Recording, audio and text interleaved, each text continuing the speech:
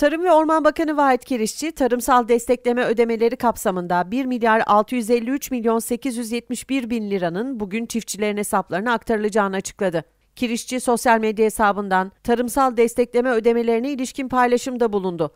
Bakan Kirişçi paylaşımında 1 milyar 653 milyon 871 bin lira tarımsal destekleme ödemesini bugün çiftçilerimizin hesaplarına aktarıyoruz. Hayırlı ve bereketli olsun ifadesini kullandı.